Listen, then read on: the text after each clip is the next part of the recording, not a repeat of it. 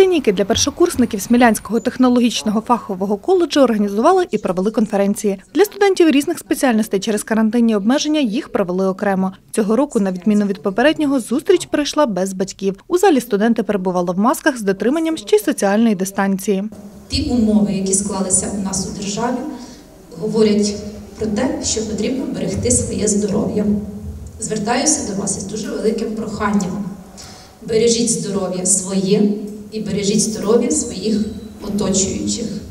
Будь ласка, дотримуйтеся соціальної дистанції і, виходячи в громадські місця, в коридори і інші місця масового скупчення, одягайте маски.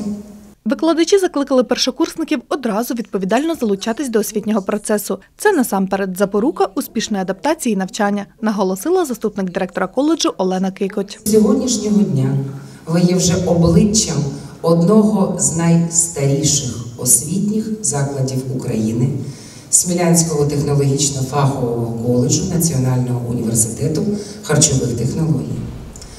Все, що ви робите, однозначно буде обертатися і на нас. Тому я дуже вас прошу, перш ніж щось зробити, завжди подумайте про імідж нашого навчального закладу.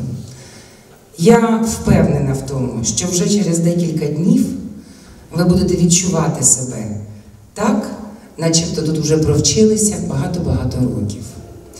Я бажаю вам знайти нових друзів не тільки серед своїх одногрупників, не тільки у гуртожитку, а звісно, і серед викладачів, так як у нас це традиційно відбувається.